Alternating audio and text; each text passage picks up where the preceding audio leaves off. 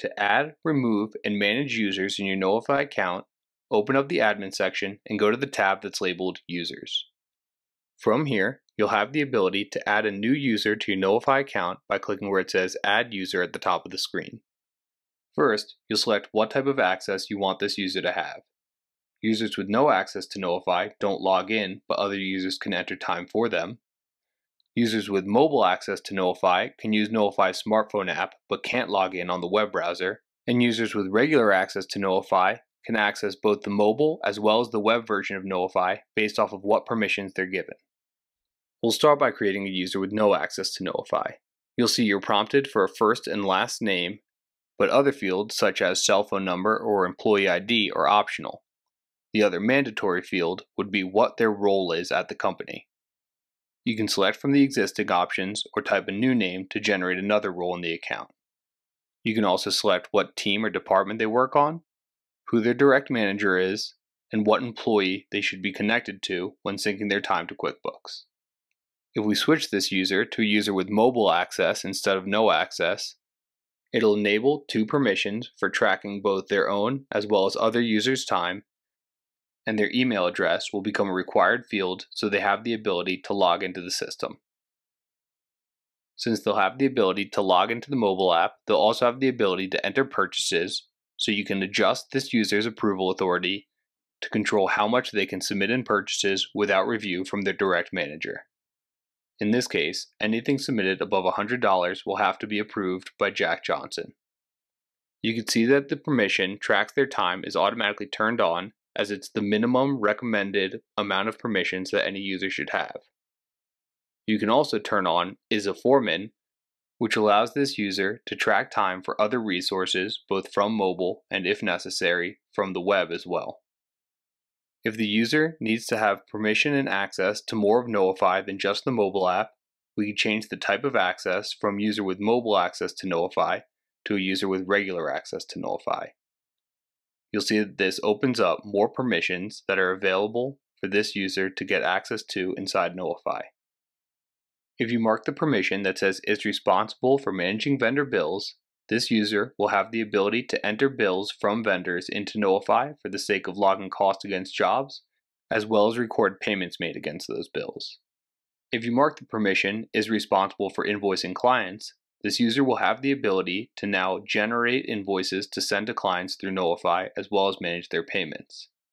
You'll see that this automatically enables views employee rates and job financials since oftentimes they're required in order to create and send invoices. If you select the feature Can Access QuickBooks or Is Your Accountant, this gives the user the ability to see the status of the QuickBooks sync and make adjustments to mapping as needed.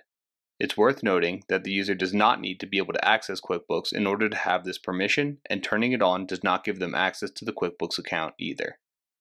If you enable the permission labeled Manages Client Agreements, this will give the user the ability to generate proposals and contracts to send to the client. You'll see this also automatically enables Manages or Estimates Jobs since they need to have the ability to create and manage jobs if they need to create and manage client agreements as well. Schedules Company Resources gives the user the ability to access Knowify scheduling tools to assign different resources to jobs and have it show up on their mobile app. The last permission is a Knowify System Administrator gives this user access to anything that's covered in the admin section. It's worth noting that anyone who's a system administrator can see anything around employee rates and change their permissions whenever they need.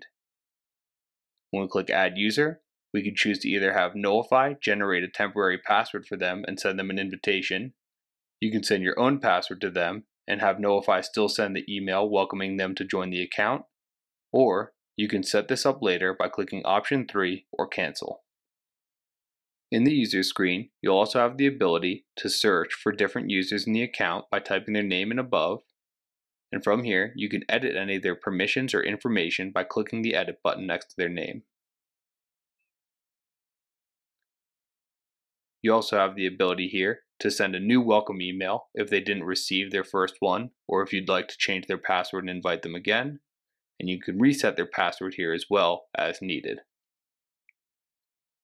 When you reset password, you also have the prompt to send an email from this screen as well. If you ever need to remove a user from your account, you can edit the user by using the same button on the right, and at the bottom of the screen where it says More Actions, you can click Disable User. When a user is disabled, they'll no longer have access to log into the Knowify account and make any changes. If the user needs to be reactivated at a later date, you can click where it says Show Inactive on the right hand side of the screen, search for the user's name, and click the same icon on the far right to enable. Once they're enabled, they'll be able to log in again and you can change their password and send a new welcome email if necessary. As a best practice, whenever you're done adding a new user, you should go to the Rates and Resources tab to set up their labor costing rates. This is where you'll see a full list of resources that are set up in the account and control what their hourly cost is when time is tracked for them in Jobs and Knowify. You can put in a base rate that this employee is paid and control whether it's hourly or annually.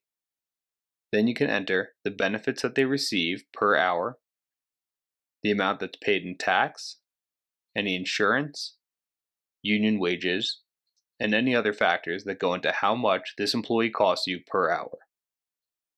The number on the far right will be the one that's used for job costing whenever they track time to jobs in Knowify.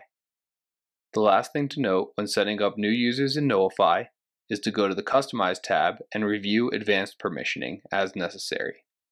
This is where you can control which users that aren't admins can have access to view things like cost, revenue, profitability of jobs, and you can also filter which jobs are visible by users based off of whether or not they're a project manager or a sales lead on that job.